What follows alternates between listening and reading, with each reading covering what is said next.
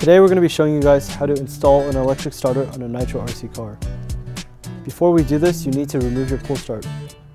If you don't know how to remove your pull start, please click on the link below.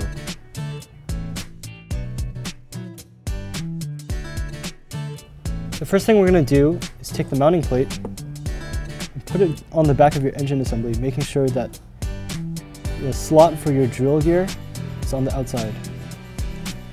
Next, you're going to take your starter gear. You're going to notice that both sides have an upraised edge. And make sure that the edge that is more upraised than the other is facing down and place it over your one-way bearing. Next, we're going to take the drill gear and put it in the slot. And finally, you take the cover and place it over the entire assembly.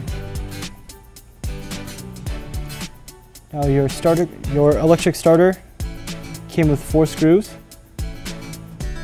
These screws are going to be a little bit longer than the screws from your pull start, but you're going to put them in the same place.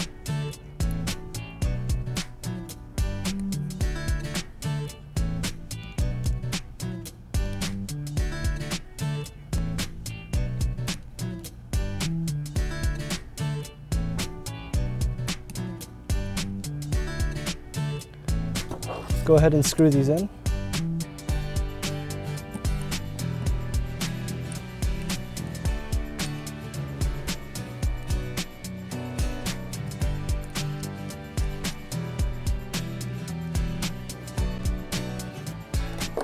Once you have the screws screwed in, you're ready to use your electric starter.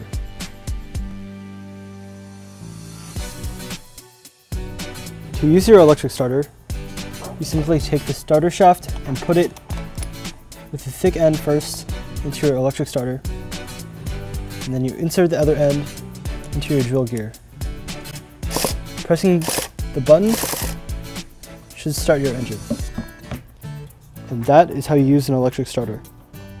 Stay tuned guys for more instructional videos from Nitro RCX.